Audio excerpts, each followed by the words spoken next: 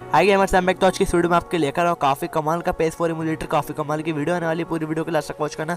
अब तक का बेस्ट इमोलेटर मैं आपके लेकर आऊँ काफ़ी अच्छा इमोलेटर है। उसमें आपको हाई ग्राफिक के सारे गेम देखने को मिलेंगे और काफ़ी अच्छी अपडेट भी आएगी इस इमोलेटर में। जिन लोगों ने पहले ये वाला इमोलेटर डाउनलोड कर रखा मेरी वीडियो को देख के, उनके लिए काफ़ी अच्छी अपडेट आएगी इस इमोलेटर में। तो पूरी वीडियो के लास्ट तक वॉच करना। वीडियो काफ़ी इंटरेस्टिंग होने वाली गेम काफ़ी इंटरेस्टिंग होने वाला है। फुल हाई ग्राफिक में आपको जो गेम देखने को मिलने वाले पेस फोर फोर इमोलेटर के सारे गेम आपको वहाँ पे देखने को मिलने वाले। तो पूरी वीडियो को आप पूरा लास्ट तक वॉच करना। और अगर आप मेरे चैनल पर नहीं आए तो अभी जाकर सब्सक्राइब कर लो मैं ऐसी रेगुलर वीडियोस लेकर आते रहता हूँ अच्छी अच्छी तो चैनल को सब्सक्राइब ज़रूर करें आज की इस वीडियो को पूरा लास्ट तक वॉच करना। चलिए वीडियो को हम स्टार्ट करते हैं।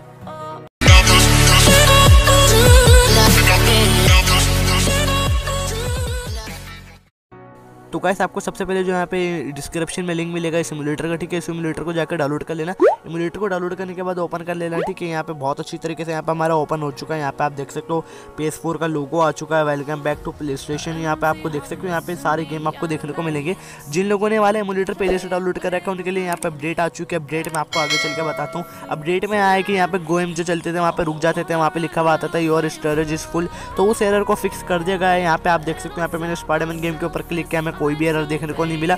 यहाँ पे सारे एरर यहाँ पे पहले की तरह जो आते थे एरर आते थे गेम नहीं चल पाता था, पूरा नहीं लोड हो पाता था, वो सारे एरर यहाँ पे फिक्स कर दिए गए तो डिस्क्रिप्शन में मोलेटर का लिंक है, जाकर डाउनलोड कर लेना। कुछ और दिक्कत है गेम को खेलने में तो कमेंट कर देना, मैं रिप्लाई कर दूँगा। उम्मीद करता हूँ वीडियो पसंद है मिलते हैं नेक्स्ट वीडियो में, चैनल पर सब्सक्राइब कर लेना। नेक्स्ट वीडियो मुलाकात होगी, चलिए बाय